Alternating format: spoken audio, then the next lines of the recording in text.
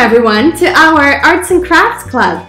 My name is Miss Lisa and today we will be looking at the amazing British illustrator Laura Carlin. Laura was born in England and she currently lives and works in London. She writes and illustrates books and also creates beautiful ceramics. Her artwork is very sensitive thoughtful and beautiful. In her illustrations, you can see a lot of animals. I would say she uses simple geometric shapes to make them interesting. Today, we're going to draw animals as well. And we're going to make something called a collagraph. A collagraph is when you take a surface and add things to it to make it look just a little bit raised.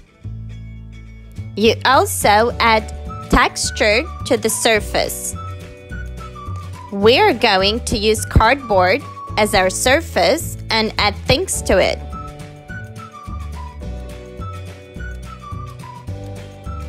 For today, we will need a piece of cardboard.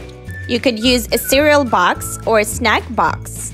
You need cardboard that you can easily cut with scissors. Scissors, glue, paper, any size and any color, and colored pencils. Let's get started. Take your cardboard, it could be any size. This cardboard will be our surface. Now, think of which animal you would like to make. I will make a bird. Let's cut the body, the head, the beak, the wings,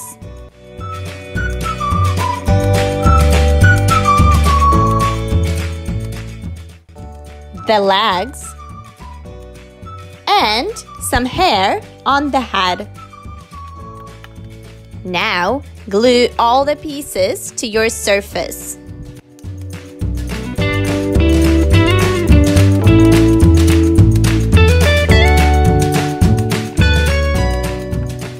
Now, let's do something that's called rubbing. You will need a piece of paper, any color, put it over your picture, take any colored pencil. I will take black and start rubbing your pencil on your paper. Do not push hard on your pencil and hold your paper still with your other hand. Make sure your paper doesn't wiggle all around when you're doing your rubbing.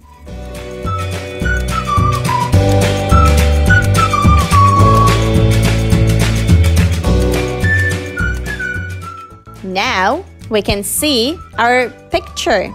Let's add some details.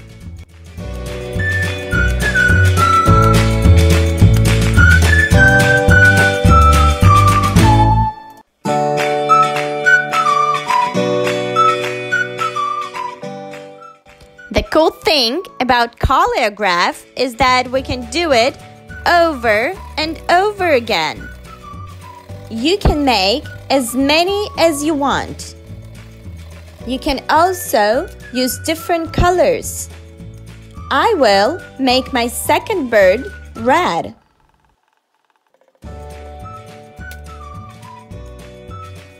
And one more blue.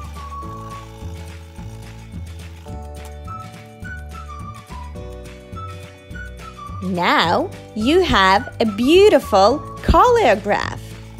You can make another animal if you want in exactly the same way.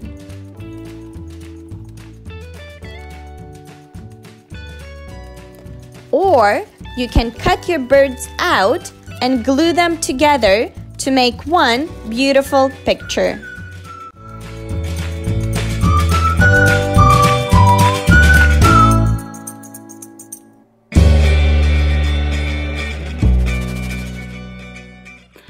Hope you had a lot of fun creating your art today.